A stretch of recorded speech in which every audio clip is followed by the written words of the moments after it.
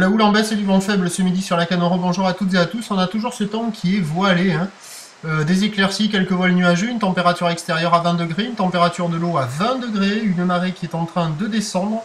Le plein bas sera à 17h10, euh, coefficient de 46 sur ce début du descendant avec un temps voilé. Ben, le vent est toujours offshore, est-nord-est, moins d'un mot fort. On a un plan d'eau qui devient tout lisse.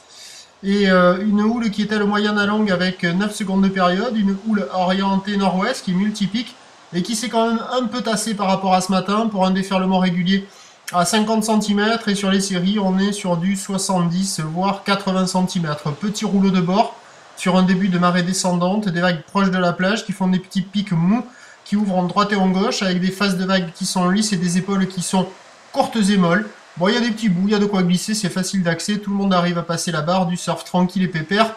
Pas violent du tout. Évolution pour le reste de la journée. Ben, avec le ciel qui a attendu se dégager, le vent devrait se renforcer nord-nord-ouest sur un train d'houle qui va rester à 50-80 cm.